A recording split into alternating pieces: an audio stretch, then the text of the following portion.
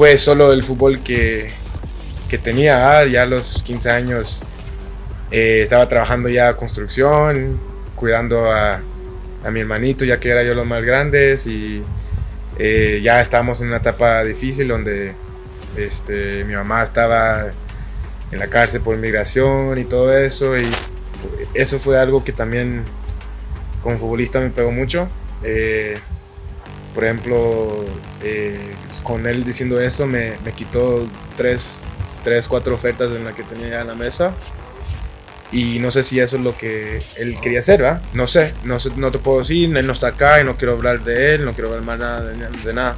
Yo creo que aquí eh, lo más difícil en Guatemala es encontrar jugadores con mentalidades fuertes y que saber que la disciplina, motivación, aunque te digan que te tiren, aunque te den, eh, que, te, que te agranden, que se, hay que seguir trabajando. Nomás tomé dos, dos eh, pasos en la cancha, te lo juro, me pegó un viento y me salió una sonrisa, así de la nada. Y yo nervioso, sudando, así como respirando, va, tratando de calmarme. Y pum, me pegó un viento y, y me salió una risa, así de la nada. Y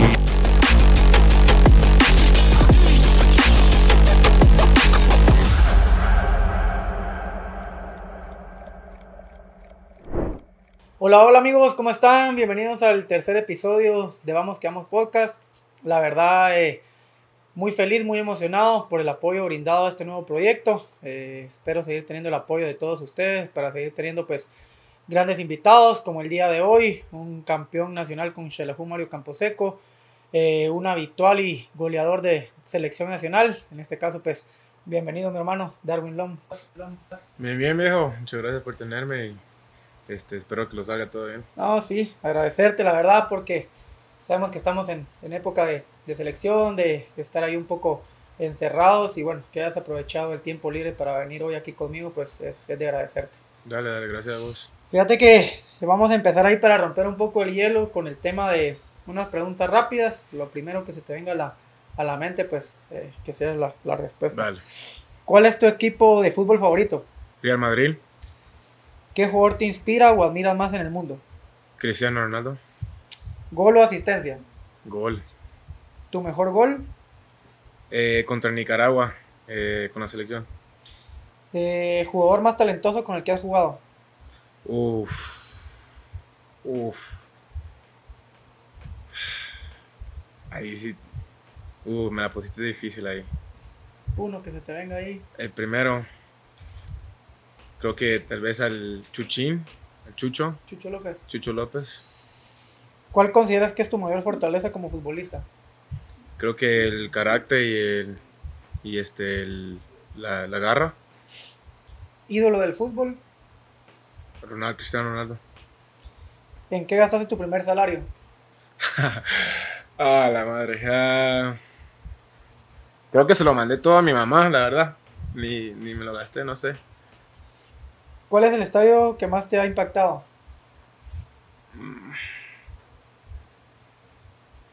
Tal vez el de, de Houston Dynamo. Houston. ¿Estamos para allá? Sí. Sí. sí, sí. Si tuvieras un superpoder, ¿cuál sería? Volar. ¿Volar? Volar. ¿Cuál es tu comida favorita? Sushi, algo de comida china, tal vez. Ok. ¿Cuál es tu cantante favorito? No importa español, inglés. No, no importa. Future. Future. Es inglés. ¿Destino turístico favorito? Ah, España. España. ¿Pizza o hamburguesa? Hamburguesa. ¿Gaseosa o agua? Agua. ¿Café o té? Café. ¿Y cuál ha sido tu partido más memorable?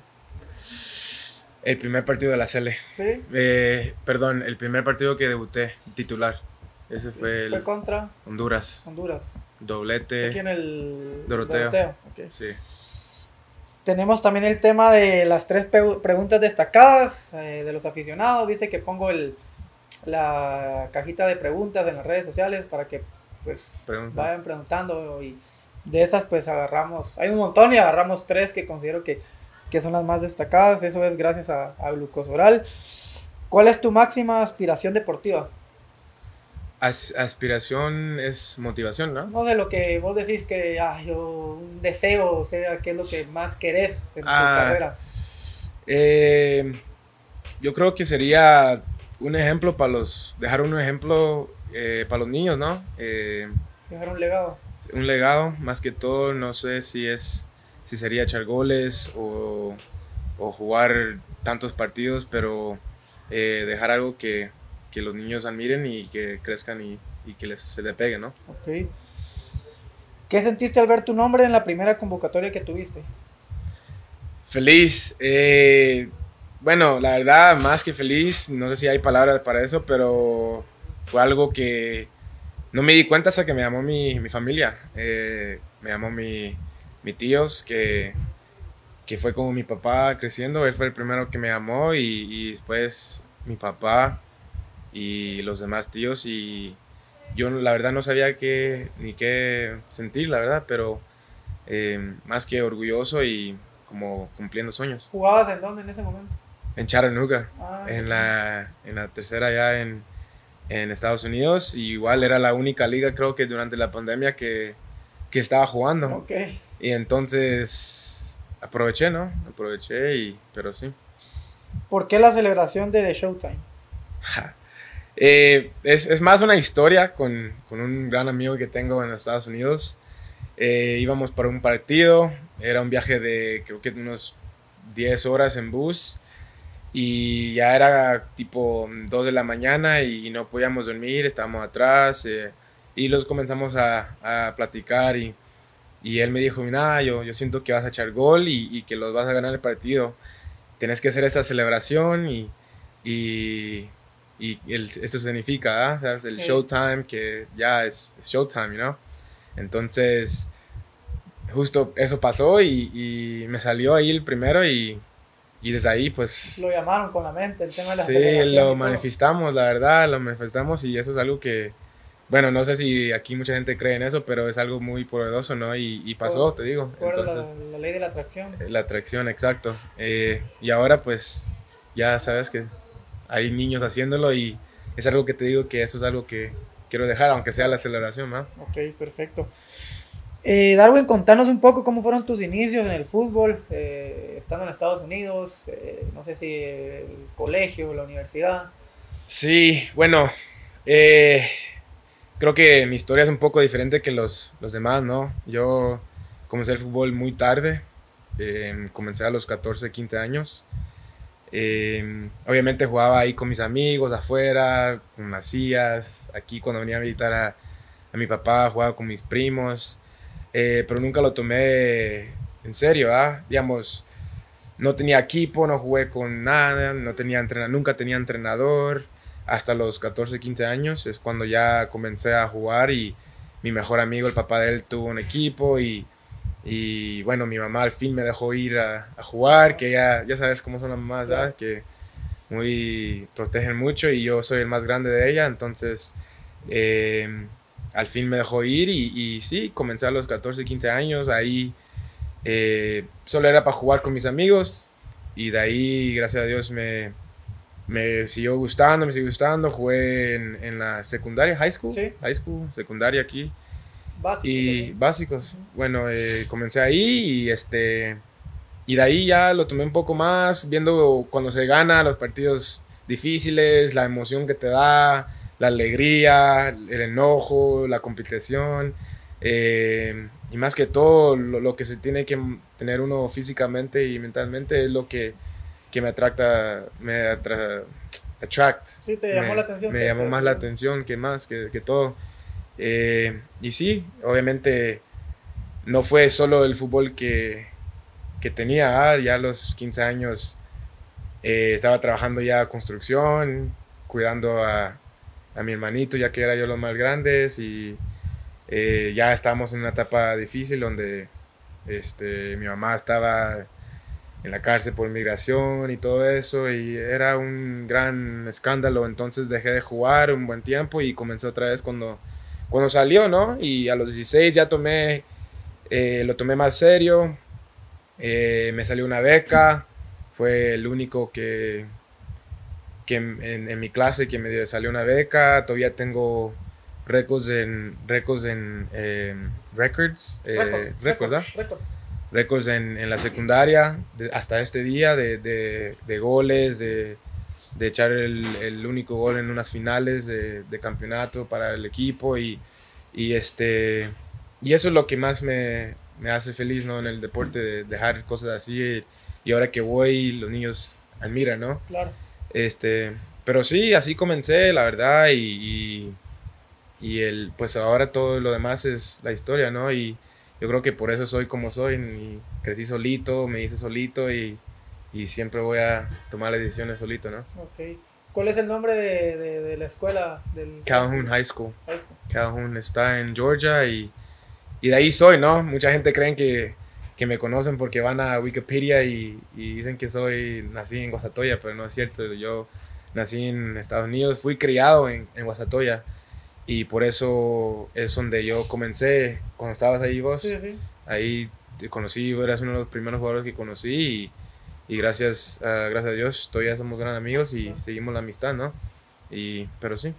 Contanos un poco eso de lo difícil en tu vida, porque, o sea, a los 15 años, pues uno tiene que ser un joven, no sé, salir con sus amigos, de hacer deporte. En cambio, vos te tocaron situaciones difíciles de cuidar a tus hermanos, de trabajar a una edad muy temprana, que, que bueno, creo que eso, como lo mencionas, forjó tu carácter y bueno, esa disciplina que, que bueno, que uno que te conoce sabe que, que tenés.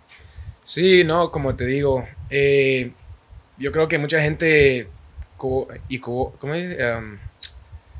eh, convoca, se equivoca. Se, equivoca porque dicen, ah, es nacido en Estados Unidos, que ya tiene todo, ¿no? Pero no era así. Entonces, mi mamá eh, se fue de aquí de Guatemala, cruzó la frontera embarazada de mí, ya embarazada, ya tenía un par de meses y, y me tuvo ya.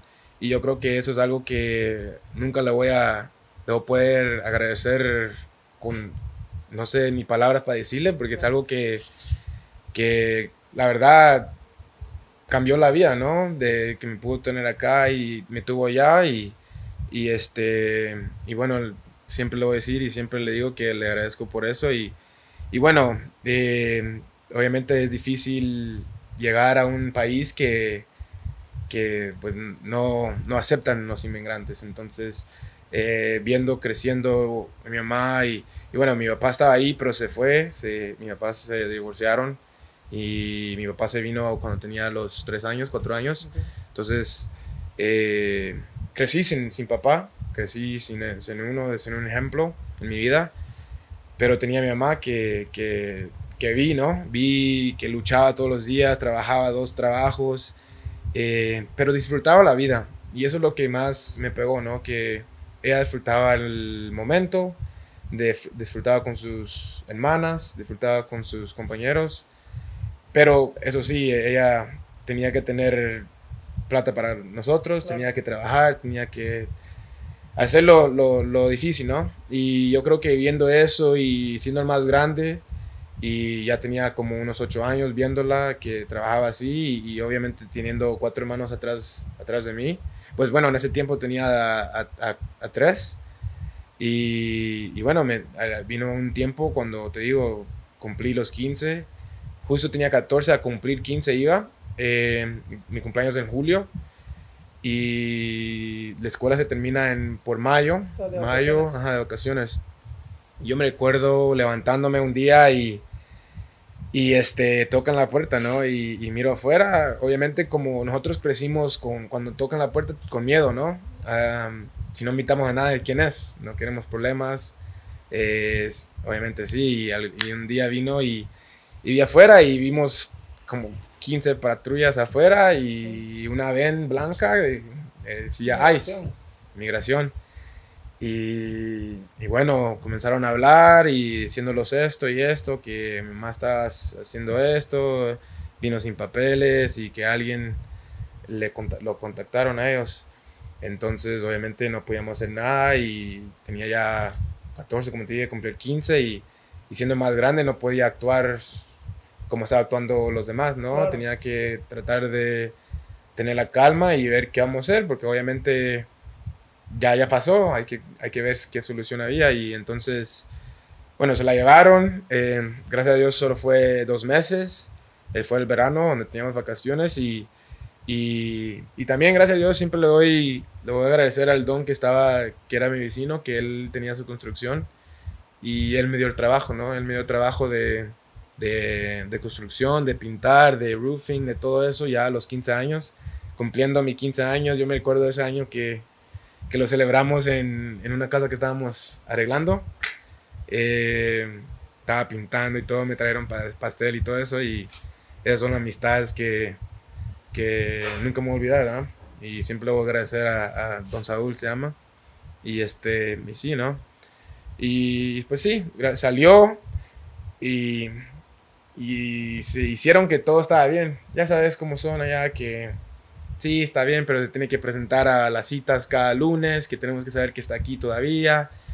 Y después vino una, una, un día donde le dijeron que, que más que todo tiene que agarrar su pasaporte, su avión para Guatemala ella misma, que van a tratar de arreglar los papeles, pero ella tiene que comprar su boleto y, y tiene que regresar por un tiempo.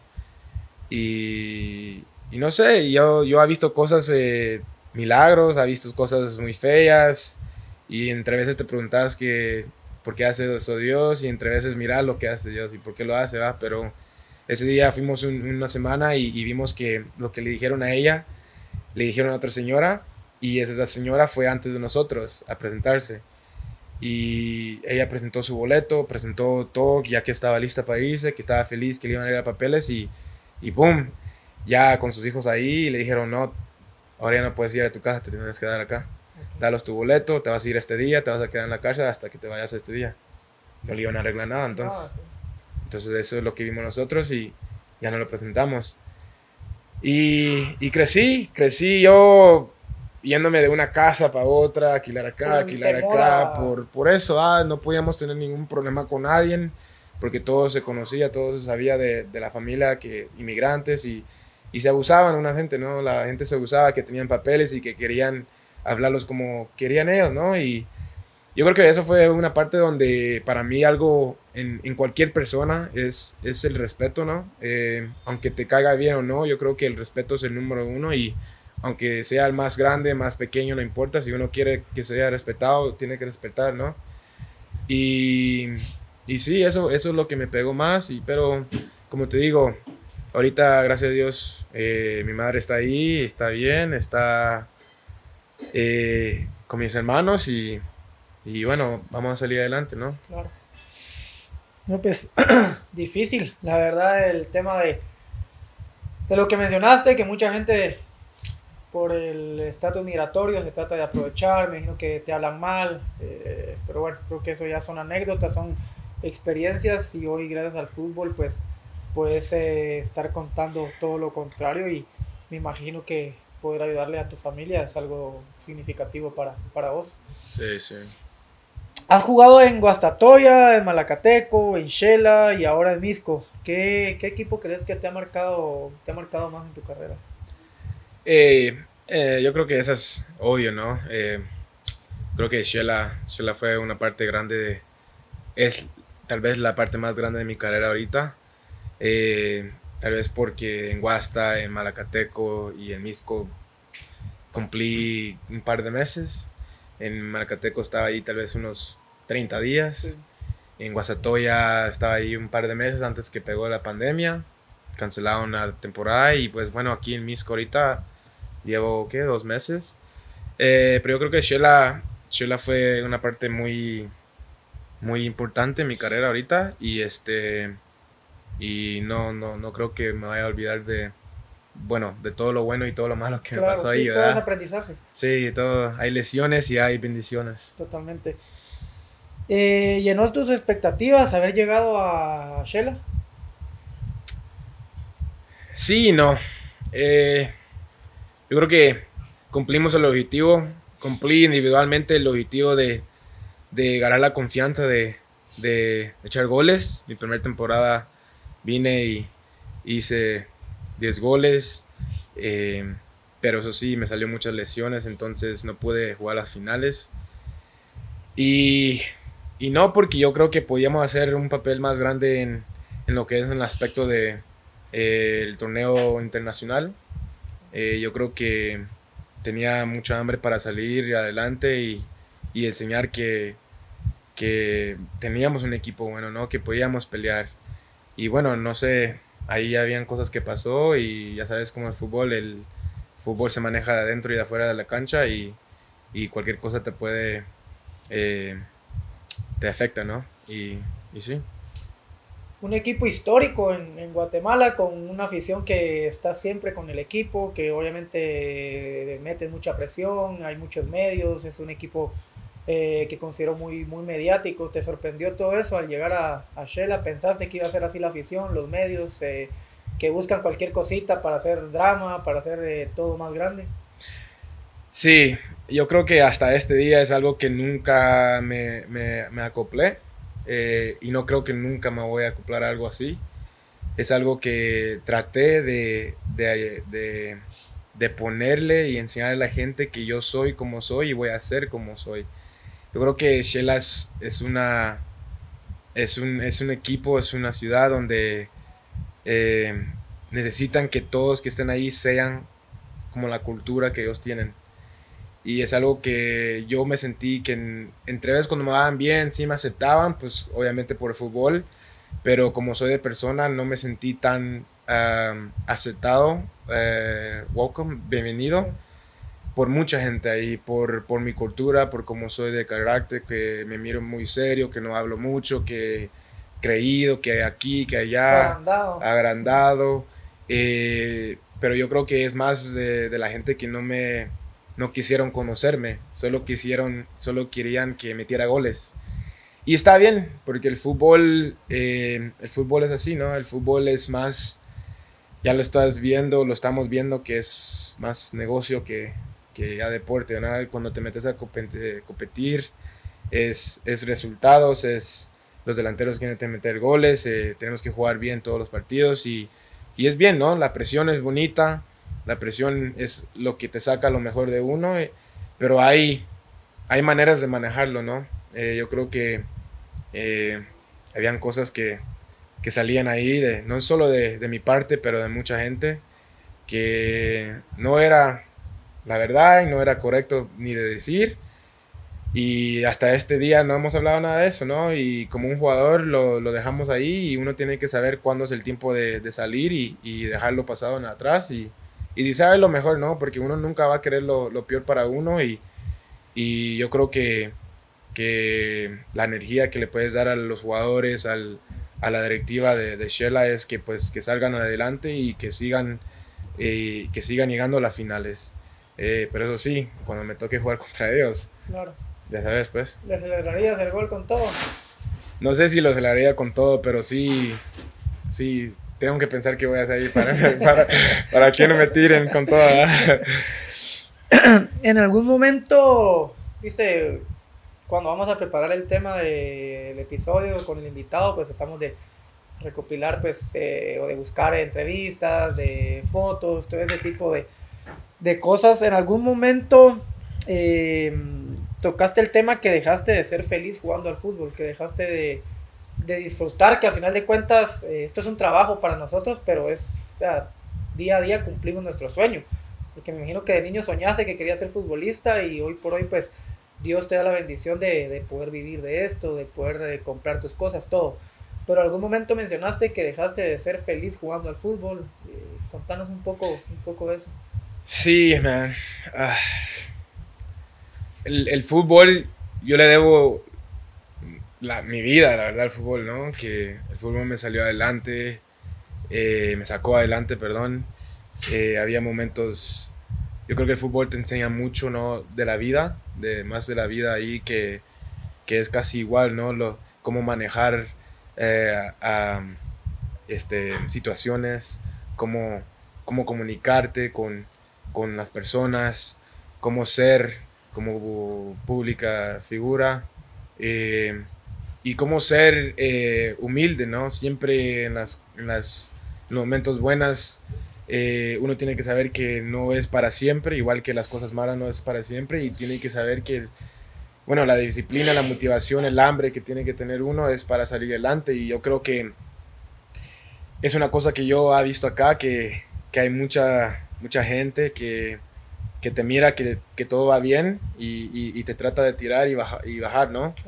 Y yo creo que hay un límite donde, donde se te, te, están tirando, te están tirando, te están tirando y es lo único que escuchas y que se te, se te mete en la cabeza. Vas al partido, no, no te sentís bien, jugas mal y te pones a pensar, ¿no? Y cuando te está tirando tu profe, tu, no, te, tu, no te respalda tu, tu directiva, la afición eh, está mal, eh, digamos, no sabe, no sabe la verdad, no sabe lo que está pasando de verdad. Eh, eso sí, sí, sí me pegó mucho, la verdad, y, y este... Y sí, la verdad lo puedo decir que no estaba feliz, no estaba feliz, no, no quería jugar. jugaba porque por el enojo, el enojo que tenía me la quería sacar no quería hacer show, yo no soy de, de hacer drama, yo no soy de, de salir y, y, decir todo esto que, que, es lo que de verdad pasó, que es lo que es, de que de verdad sentí.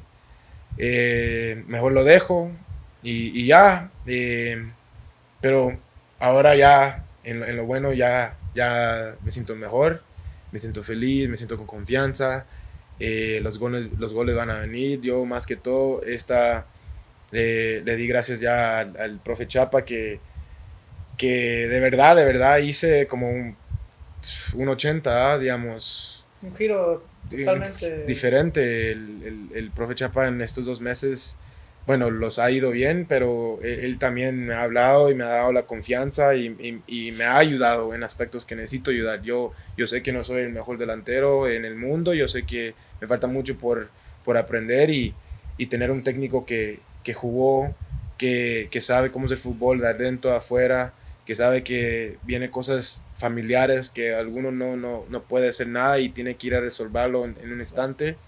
Eh, es algo que me ayuda, ¿no? Eh, y él, él, él, en poco tiempo ya, ya, ya me, me, ayudó mucho, la verdad. Y ahora, pues gracias a Dios, estoy aquí en la CL y con la actitud mejor que, que el profetena me, me dice que tenía que mejorar. Y es algo que como te digo, uno como jugador tiene que, no solo en la cancha, pero afuera, tiene que mejorar en muchos aspectos.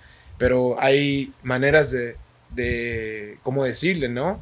Eh, y lo hablaba con el profetena y, y me ayudó mucho y, y, ya, y justo ayer me dijo que se me miraba mucho mejor, eh, la actitud mucho mejor y, y es lo mejor, ¿no? Para mí y para el equipo, ¿no? Para adelante, que sabemos que viene algo muy importante para, para todo el país, para nosotros y, y esa energía de, de, de ser feliz, de, de, competir, pero que sea sano, es muy pegajoso, ¿no? Y, y vos lo has visto que en los entrenos uno quiere competir, quiere, quiere ser titular, quiere esos minutos, pero también si no, hay que apoyar, ¿no? Y hay que salir adelante de todos. Y, y es algo que, que, se me fue, se me, se me ha ido en, en, en, los meses pasados y es algo que espero que nunca me pase otra vez. Okay. Siempre te vemos muy activo en tema de, tus redes sociales. Eh, ¿Cómo manejaste el tema de redes sociales estando en, en Shela sabiendo que la afición te, te, tiraba, que había crítica, que había siempre ese hate al que usualmente el futbolista está acostumbrado, pero creo que ya en ese momento las cosas como que dieron un giro muy, muy diferente a lo que uno realmente está acostumbrado. ¿Cómo, cómo viviste eso con tema de tus redes sociales, todo eso? No, yo creo que es algo, es algo muy... No sé si ha pasado esto aquí, la verdad. Eh, Shela estaba muy dividido. Estaba en el lado de del profe, lo que, lo que salió a decir, y al lado mío cuando, cuando jugaba y miraban que todavía le estaba poniendo ganas y todavía quería salir adelante. Entonces está muy dividido ahí el, la afición, está muy dividido todo. Eh, pero no era algo que yo quería, ¿no? Era, es, es algo que, es, eso, lo, eso pasó por todo lo que salió de, de, los reportistas, todo lo que dijo ahí algunas personas y yo no dije nada, yo me quedé eh, con calma, la verdad, yo tenía mi familia que, que me ayudó mucho en eso y, y como te digo, yo no soy una persona de, de hacer drama y, y ser más drama, ¿no? Y yo mejor, si de verdad crees eso, yo creo que la vida da, da círculos y, ese, y es lo que, gracias a Dios tenía un compañero, a, a mi capitán, que era ya el Kennedy Gutiérrez, Ok. ya veterano, experiencia. mundialista, y él, él vio todo lo que, lo que me estaba pasando adentro y afuera, y, y, él, eh, y él vivía conmigo en el, en el edificio, no conmigo, pero en el mismo edificio, y me ayudó mucho, ¿no? Me ayudó mucho y, y me, me ayudó a calmarme mucho, y él siempre dice, miren, no, no, no es eh, uno como jugador siempre va a salir perdiendo si, si le agregas más fuego al, a todo esto. Entonces, él me ayudó mucho a, a calmarme y, y bueno, me respaldó al fin del día y, y nunca es otra cosa que no me voy a olvidar y hasta este día lo, lo- lo hablamos y le agradezco mucho a él y, y a su familia que, que estaban allí entre veces también cuando su familia venía y, y nos ayudaron en esa etapa difícil. Pero sí, yo como te digo, yo creo que Shela tiene mu- los reportistas que son muy fuertes allá. Yo creo que ellos tienen que saber la, ¿cómo te puedo decir? El, el efecto que Que- tienen ellos. Eh, y, y yo creo que muchas veces por, por no hablar mal de una persona que, que tal vez son amigos o tal vez no, hablan de los demás y le tiran toda la presión a uno para que le quite la presión a otra persona. ¿ah? Entonces, eh, así se maneja muchos, muchas partes, no solo ahí en Shela, pero ahí en Shela sí lo vi mucho. Y bueno, si siempre lo han manejado así, que sigan así, pero bueno, en mi opinión es, es decir la verdad y averiguar y, y decirlo, ¿no? No importa quién es quién, pero, pero sí. ¿Cómo está tu relación actualmente con el profe Amarini Villatoro? Eh, bueno, para mí todo tranquilo, man. Like, todo está bien. Eh, todavía no entiendo por qué salió a decir eso en, no en Guatemala, pero todo Centroamérica, ¿ah? digamos, o hijo en CONCACAF, o eh, fue- eso fue algo que también como futbolista me pegó mucho. Eh, por ejemplo, eh, con él diciendo eso me, me quitó tres, tres, cuatro ofertas en las que tenía ya en la mesa. Y no sé si eso es lo que él quería hacer, ¿verdad? No sé, no sé, no te puedo decir, él no está acá y no quiero hablar de él, no quiero hablar más nada de, de nada. Lo que sí te puedo decir es que yo todo bien, eh, si algún día hablamos, eh, es lo único que le quiero pedir es que por qué, ¿ah? ¿Por qué pasó todo eso? ¿Por qué hizo eso? Si él me conocía como yo soy. Él fue el primer entrenador que me vio cuando, cuando vine a Sí. Guastatoya y él fue el que, que me pidió a la selección. Y, y siempre, pero siempre a ser agradecido, man. Siempre le agradezco por todo lo que ha hecho él. Él, cuando nadie confiaba en mí, él me trajo y él, él, a él estaba ahí, ¿no? Él puso su pecho por mí, él, él puso su todo por mí. Pero eh, hay, un, hay un, una línea, ¿no? Eh, donde él pone su parte y yo tuve que poner mi parte, ¿no? Él me amó, él confió en mí, él le dijo a la gente que él confía en mí, está bien, pero también uno como jugador tiene que venir a aprovechar las chances que le están dando y, y respaldarlo a él, ¿no? Claro. Eh, eso fue el día de, de Honduras, donde metí el doblete. Eh, ese fue un día Espectacular. Eso, espectacular. No solo por, porque se fue mi debut, pero par de me- un mes después, justo un mes, fue 30 días antes, es cuando falleció mi hermana. Y entonces fue algo que, por eso mi primer gol lo, lo celebré con todo, ¿no? Saqué todo ahí y, y es algo, bueno, hasta este día lo tengo ahí en la casa, ¿no? Esa, esa emoción que sentí, lo, solo de ver la foto, me hace sentirlo otra vez, otra vez, ¿no? Pero sí, como te digo, eh, a contarte la, la pregunta de Marini, no, solo todo bien, en mi parte, todo tranquilo, todo bien. Como te digo, le deseo lo mejor. de- ojalá que primero ellos salgan de lo ahorita donde están y, y podemos pelear. Eh, lo bonito de fútbol es que te vas a encontrar otra vez en la cancha y, y ahí se compite, ¿no? Claro. Tocaste el tema de, de ofertas que, que tenías de, de otros equipos cuando pasó ese, ese momento. ¿De dónde eran las ofertas? De, de qué clubes tenías? Para que la gente sepa ahí de, de un poco de, de las ofertas que has tenido para, para jugar fuera, para jugar en, otro país, que al final de cuentas es lo que uno busca como, como, como futbolista nacional, el tratar de, de trascender, el tratar de ser un, un legionario más y bueno, estar en el ojo de, del huracán como, como todo jugador legionario aquí en Guatemala, ¿verdad? Sí, eh, simplemente las ofertas, tenía dos en, en Centroamérica, en Costa Rica, y tenía una en Europa. Y todos vinieron de atrás que me estaban viendo esos partidos. No me jugó el primero, eh, comenzó a decir todo eso. eh, y todavía estaba que sí, no, que sí, no, que sí, no. Y, y pues vine el segundo, fue buen partido en Antigua. eh, fuimos a Honduras contra Olimpia, me eché un buen partido. Hasta los comentarios decían cómo se jugaba y qué le faltaba al equipo y que estaba solo arriba Sí. y que todo eso. Entonces eso me sentía sentir mejor, pero uno deja del fútbol, entra al camerino, va otra vez con el equipo y, y la afición les sigue tirando a uno. Entonces tenía emociones donde sea, ¿verdad? Pero eso lo, te digo, me afectó más porque me mandaron eh, los, los representantes eh, mensajes, ¿no? De capturas de, de que preguntaron a gente en Shela que cómo es Darwin como persona, como jugador, y todos me estaban tirando. Sí, pues. Que Darwin, mira, ahorita no está jugando, que tiene un carácter, que está berrinches, y yo, ¿qué, qué onda? Entonces, al fin del día ya no me, me lo dejaron ir y me dejaron ir, y igual, y en, igual en Europa, eh, al fin del día me vieron que no estaba jugando, que ya no estaba metiendo goles, que iban a esperar, que iban a ver, y al fin del día así es como de fútbol, ¿no? Es, es increíble como una persona te puede cambiar el, Totalmente. totalmente la, la, la, la carrera y, y yo solo quiero que, que, que sepa, ¿no? La, la gente, que sepa, el profe, que el impacto que tienen ellos, ¿no? Que son, no son jugadores, pero son técnicos donde tienen que respaldar, igual que la afición, eh, respaldar y, y seguir motivando, porque uno cuando está hundido, lo peor, lo último que quiere es que le sigan tirando. Es lo último, que uno sabe cuando lo está cagando, uno Sí, sabe cuando la- está jugando mal. Y yo, yo mismo me estoy tirando, entonces no necesito escuchar lo de otra gente.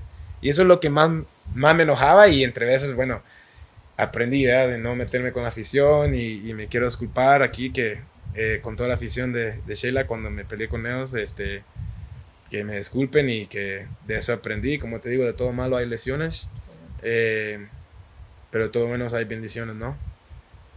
Pero creo que es algo que la gente por ahí tiene que, que, que comprender también. Uno va saliendo con los calores del juego, con la adrenalina a tope y que te vengan a. a insultar y por ahí a, a echarte la culpa de algo que no está sucediendo en realidad, pues obviamente a uno lo va a molestar y, y bueno, es lo que vos decís, que hay que tener respeto para uno poder respetar. Respetar. Entonces, si no te están respetando a vos, como porque vos también tenés que, que respetar. Y es algo con lo que yo peleo mucho en redes sociales porque eh, hay mucha gente que a veces se pone a, a maltratar y a todo en los mensajes y yo hay veces que, que le respondo. Y le digo, y si querés, pues tomarles captura y subirlo, a mí no me molesta, pero si vos me estás faltando el respeto a mí, pues espérate que yo también te lo Sí. falte a vos. Exacto. Y si me maltratas, pues yo me... Y hay veces que yo digo, lo hago mal porque, o sea, yo soy figura pública, eh, soy más inteligente que ese tipo de personas, pero hay veces, como vos decís, que molestan porque hablan y dicen cosas que verdaderamente no, no, no, no saben y nunca van a comprender. Sí. Y es un poco esto del tema del podcast, porque la, la gente cree conocer a un futbolista o cree saber cómo es un futbolista o cree saber lo que pasó un futbolista para poder llegar en donde está o en donde estamos, pero no están ni cerca de saber lo que uno pasó, los esfuerzos de, en este caso de tu mamá, los tuyos, el sacrificio que tuviste con tus hermanos, el tener que venir a Guatemala después de años de estar en Estados Unidos, acoplarte a una nueva vida, el regresar a Estados Unidos, el volver a venir a Guatemala, ¿me entendés? Sí. Entonces es, un poco esto el tema de este podcast para que la gente verdaderamente entienda y conozca un poco más al, al futbolista, que Sí. al final de cuentas no están ni, ni cerquita de conocerlo, porque uno sí está bien, publica en tema de, de redes sociales o uno publica una foto, pero o sea, no es la vida Sí. que uno lleva el, al día a día. O sea, el cuido que, que vos tenés, todos sabemos de que eh, sos un profesional al 100%, que cuidas tu alimentación, tu físico, y creo que eso es- viene también un poco por el tema de, de dónde venís, de que en Estados Unidos pues es obligatorio tener todo ese tipo de, de cosas. Y la gente ves que me, me maltrata a mí, me dice que yo hay veces que hablo de la nutrición que puede llegar a tener en fuerzas básicas otros equipos. Eh, y ponete en México, ahorita que fuimos con Monterrey, que me dijeron, no, es que vos saliste diciendo que la nutrición, entonces vos no comiste, pero no vamos a ese tema, vamos al tema de que de los 13, 14 años vienen recibiendo proteínas, entrenando en un mejor campo, y al final de cuentas esa es la realidad del por qué el fútbol de Guatemala no ha trascendido. Y sí, nosotros vamos y queremos eh, equiparar las cosas con voluntad, con juego, con ganas, pero viene todo de años atrás que nos vienen sacando ventaja. ¿Cuál es tu opinión a, todo esto? Sí, no, totalmente. Eh, bueno, como decís, yo vengo de una cultura donde, por, por, decirte que en mi colegio los daban más de lo que ha recibido acá yo. ¿ah? Eh, la comida, el gimnasio, eh, entre veces hasta en las clases los dicen, no, no, no, estás lesionado, anda a terapia cuídate, tenés un partido hoy, cuídate bien, que si te sacaban de clases para irte a cuidar a, o sea, para que puedas recibir la fisioterapia. Exacto, porque e, es, es, ellos saben el impacto que tiene, eh, saben el, el dolor que uno siente con una lesión, si es mental o si es físico, no importa. Este, y yo creo que es algo aquí en Guatemala que no me ha adaptado. Y, y entre veces yo digo que nosotros mismos somos los que los matamos. Sí. Nosotros mismos tenemos, lo, lo, hemos, lo ha dicho Profetena, lo han dicho todos los... Aquí hay, hay muchos jugadores buenos. Aquí sí hay buenos jugadores, pero ¿qué pasa? Es de que la, los mismos reportistas, los mismos afición, escogen a un jugador y le tiran con todo y hay muchos jugadores que no saben cómo tomar eso. Por, e, yo creo que hay muchos jugadores jóvenes que vienen, ¿verdad? Y qué bien por ellos. La verdad, espero que salgan, espero que vayan a jugar donde sea.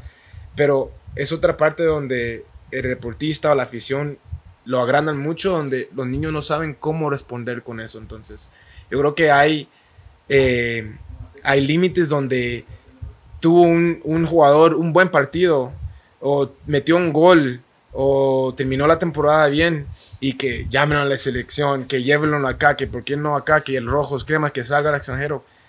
Es, es parte de un proceso. La gente hay, no saben que hay muchos jugadores aquí que crecieron con, con muchos problemas en la casa.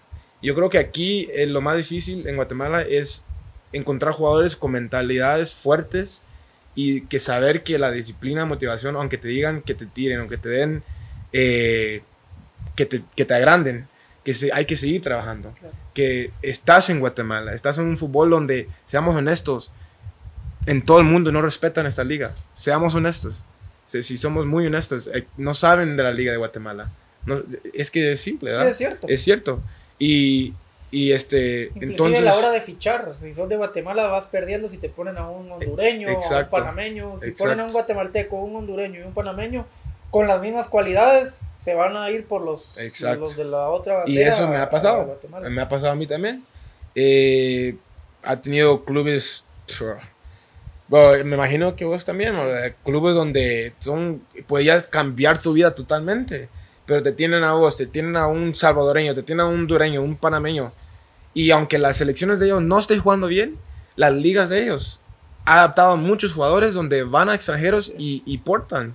Entonces, eso es lo que yo creo y, todo comienza con, la afición y con los deportistas y, yo creo que ellos tienen que saber el impacto que de verdad tienen, aunque sea mal, aunque sea bueno, pero los niños que dejen que crezcan, dejen que adapten al fútbol, tengan un buen partido, qué bien, siga, no que metió un gol, que ahora llámenlo porque no está en la selección, que es un proceso de todo esto. Entonces, eh, yo creo que esa palabra no, no, aquí en Guatemala no, no saben lo que es un proceso. Un proceso es donde comenzás con una cosa y vas a adaptar a ese, a ese base de gente que tenés para un proceso donde quieren llegar. No puedes cambiar muchas, piezas, y, y, esperar que te va a salir todo igual como estás esperando. Entonces, es algo que yo creo que lo más que me ha eh, sorprendido aquí es la mentalidad de la gente y la mentalidad de, de muchos jugadores donde en el aspecto de son muy débiles, donde le tiran y se mueren, o lo agrandan Sí. y creen que son Messi y Ronaldo, ¿no? Sí, han habido, eh, bueno, un par de casos de, de futbolistas eh, jóvenes que han tenido muy buenos semestres y que el siguiente, pues creo que ya no, ya no, ya no son los, el mismo jugador. Pero puede ser por eso que, que mencionabas que viene eh, la afición, los periodistas a, a decirles cosas muy positivas y que al final de cuentas eso perjudica hasta cierto punto al jugador. Sí. Exacto. A tus 26 años, ¿has cumplido todas tus metas en tu carrera como, como jugador, como persona? Como persona, yo creo que más que un futbolista.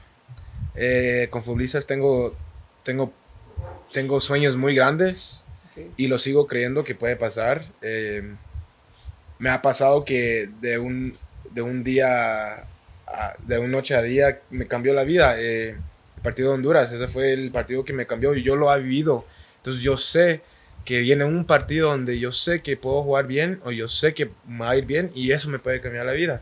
Entonces en el fútbol, de, en el aspecto del fútbol, yo sé que no ha llegado ni, ni casi a la mitad de, de, de donde creo que puedo llegar. Y este y yo creo que esto lo que pasó ahorita en los últimos meses fue una lección no y, Claro. y adaptarme y seguir adelante. No no fue un paso atrás para tomar tres para adelante. Entonces y como en persona yo creo que que sí me ha eh, ha visto que ha- no ha cambiado pero me ha mejorado en el aspecto de de hablar más, de, de ser, ¿cómo te puedo decir? De vivir, de, de asociarme más con la gente. Eh, pues sabías que cuando llegué que me quedaba solito, Sí. que me decían que... Y por eso muchos dicen que soy agrandado, pero es que así soy yo. Tengo muchas cosas en mi, en mi mente que me miro que estoy enojado o algo, pero no, estoy pensando en un negocio, estoy pensando en algo aquí, un socio, algo. Es, es que la vida es así, ¿no? No es de solo de fútbol. Uno sabe que va a llegar un tiempo donde no vamos a estar jugando fútbol. Entonces Claro. tenemos que tener una, un plan B, un plan C de qué vamos a hacer después del fútbol. Claro. Entonces mi, mi, mi cabeza está en eso siempre, ¿no? A largo plazo, ¿cuáles son tus metas? ¿Te ves como director técnico siempre en el fútbol? Eh, ¿O cuáles son tus objetivos que, que tienes ya cuando termines pues, tu carrera futbolística? Eh, yo siempre he dicho y, y lo sigo diciendo que nunca... Yo quiero ser mi, mi propio jefe y este, creo que lo, lo estoy haciendo y lo voy a seguir hacer, haciendo. Este, antes de cuando tuve mi, mi pausa de retiro de, de fútbol, eh, estaba creciendo construcción, ya nací de 14 años, tenía mucha experiencia, entonces quería, eh, comencé mi, mi construcción y, y ya iba a, a sacarle todo, ¿no? Tener mi nego- negocio y, y salir adelante y, y aportar a la familia, ¿no? Pero el fútbol es, es parte de, del amor de, de quién soy yo, ¿no? Y yo creo que después del fútbol siempre va a estar ahí conmigo, pero al fin del día, eh, si no, está bien. Eh, yo lo que quiero hacer es, como te digo, eh, impactar a los niños, de enseñarle que esto no es fácil, no va a ser fácil, pero, pero sí es, ¿cómo te puedo decir? Sí es worth it. Eh, sí, ¿cómo que es la palabra, digamos? No es fácil, pero sí es worth it, es como... mer- eh, Ahí sí me agarraste. Ahorita no sé cómo. Pero bueno, la, la, la cosa es que no va a ser fácil, pero es, es algo bonito, ¿no? Eh, Es algo gratificante, como que tiene que te devuelve todo lo, que, lo que te ha costado. sí, pues, digamos, eh, es algo que vale la pena. Eso es la palabra, vale la pena. Que no es fácil, pero vale la pena. Entonces, eh, eso es más lo que yo quiero enseñar a los niños. Si, si algún día vuelvo a, casa y, este, a Estados Unidos, tengo muchos amigos que son entrenadores de, o son gerentes de academias, son gerentes de, de ya de equipos ya que van a ser profesional. Si me quiero meter, con mucho gusto ya me dijeron que me iban a meter ahí, pero como te digo, es algo que, que lo tengo que pensar, la verdad, la vida que yo quiero tener es, es muy distinta a lo demás. Yo quiero ser mi propio dueño, quiero tener mis negocios, quiero tener mi- mis casas y ni, ni sé si quiero vivir en Estados Unidos, para decirte la verdad. Ok. Y ni aquí en Guatemala, no sé, es algo que estoy trabajando en eso y por eso es parte de que mi cabeza siempre está al full, porque estoy pensando en qué quiero hacer, cómo lo voy a hacer, si ya lo comencé, quién, cómo lo voy a hacer, digamos. Es, es un proceso que siempre, y tal vez tengo que mejorar eso porque tengo que vivir en el momento, ¿verdad? Y, y, eso me lo han dicho mi familia y eso sí es cierto. Pero la vida pasa muy luego. Sí, definitivamente. La vida pasa muy luego. ¿Por qué el, el 14 eh, lo tenés tatuado? ¿Lo utilizas siempre en los equipos a los que vas? ¿Hay algún significado especial con el número 14? Bro, el 14 fue de todas las memorias malas, buenas que tengo. Eh, a los 14 años comencé a jugar fútbol, eh, así competir con equipo. 14 años eh, mi mamá estaba en la cárcel, 14 años cumpliendo 15 estaba trabajando un trabajo adulto. Claro. Eh, mi cumpleaños es del julio 14 y, hay muchas cosas, ¿no? Tenía, tenía, tiene mucho sentido, entonces es, es algo que ah, me lo tatué ¿ah? Sí. y es algo que él, lo, él significa mucho para mí. Ok. Para ir terminando, tenemos el tema de, de unas imágenes ahí para que nos vayas compartiendo qué se te viene a la mente al, al verlas. lo que te digo, el, mi hermana, el primero que es, eh, diciendo que lo bonito de esa foto es que cuando entramos al, al, al campo ese, ese día, eh, estaba con nervios y ansioso de mi primer partido de titular, nervios. Nomás tomé dos, dos eh, pasos en la cancha, te lo juro, me pegó un viento y me salió una sonrisa, así de la nada. Y yo nervioso, sudando, así como respirando, va, tratando de calmarme.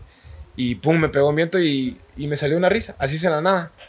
Y, y yo sé que fue ella y, y estaba ahí desde ese sí, que ya estaba ahí a la par mía, que, que iba a ayudarme en este, en este partido. Y, y el eh, ahí te digo, me saqué todo ahí con ella, ahí en esa foto.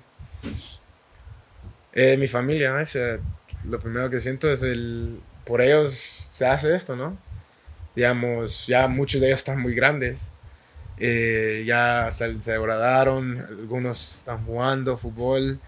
Y, y es mi familia, la verdad. Ellos me dicen lo mismo y no me miran como un futbolista, una estrella, un pública figura. Se me miran como un primo, un hermano y, y me hablan así de lo bonito, ¿no? Que vas a la familia y no te preguntas solo de fútbol, no te preguntan nada de, de eso, porque es lo único que escuchamos de todos, pero ellos llegamos, quieren jugar, quieren este, divertirse, quieren pasar el tiempo bien, y eso es lo bonito de, de tener ahí la familia y reunirlos, ¿no?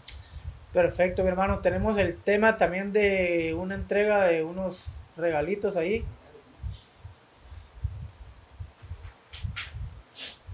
Ahí porque te conozco más o menos tu, tu estilo. Muchas vos, gracias, hermano. bro. Gracias. Y ahí la, La gorrita. la gorrita ahí. Dale, Ponte la luz ahí para que la gente la, la vea. Dale. También lo del tema de la camisola. Firmamos la, la camisola de todos los invitados. Falta la de, la de Chuchini. Ya tenemos la de Marco. Esto es gracias a, a Guate Forever. Dale.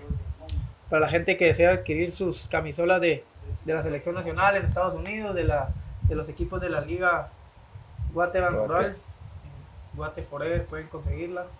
Justo abajo del crack lo ponen. Ahí está. Listo.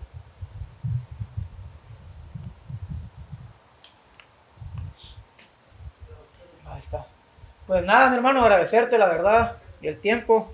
Se pasó rápido el tiempo, la verdad. Sí, Eh, sí. Esperamos que sigan, o espero que sigan viniendo muchos éxitos para vos. Eh, Gracias.